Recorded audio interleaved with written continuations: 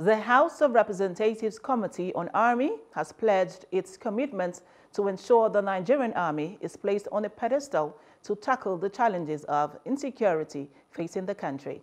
Chairman House Committee on Army, Honorable Abdullahi Mamudu, while stating this at the inauguration of the committee on Tuesday in Abuja, says the committee is a responsibility to Nigerians.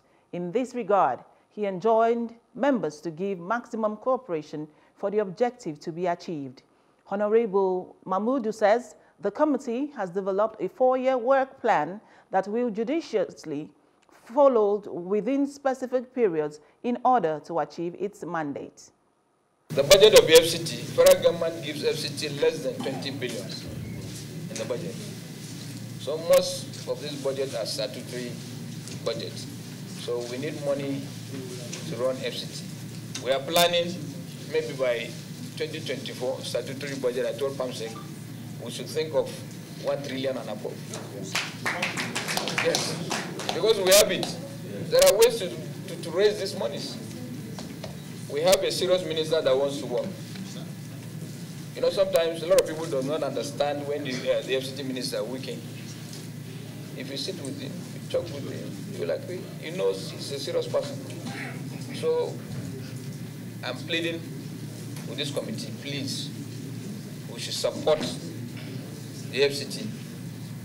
For us, we should support the FCT for us to get more revenues next year so that the 10th National Assembly will leave legacy. Members of the committee therefore pledge their commitment in actualizing the mandate of the committee. Mr. Chairman, I, I want you to take this um, into heart because a widow came to me crying and I ran to my husband. And it's like before we know it, the house was down. And she is left with four children out on the street. I think we have to look at that very carefully with a very compassionate heart uh, uh, so that this uh, committee, great men of Nigerian men here that I really trust you, are wonderful people and kind-hearted people, you will see that this demolition is, is, is stopped or slowed down so that what needs to be done will be done. The plight of the AICN, it is one of the reform initiatives of the Honorable Minister to address the revenue generation capacity of this agency, particularly their governance structure.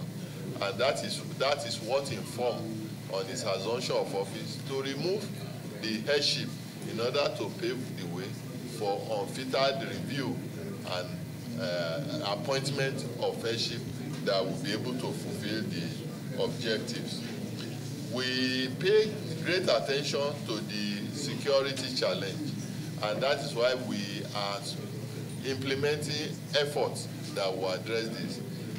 Why the problem of one chance is still there and other security measures, but if you recall in few uh, weeks now, there has been substantial decline in this.